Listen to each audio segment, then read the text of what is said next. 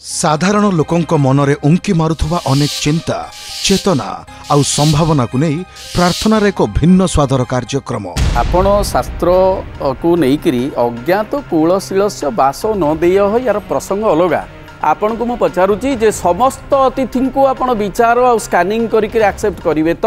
କଳି ଯୁଗ ଆସନ୍ତା ଚବିଶ ତାରିଖ ଠାରୁ ପ୍ରତ୍ୟେକ ରବିବାର ରାତି ନଅଟା ତିରିଶ ମିନିଟ୍ରେ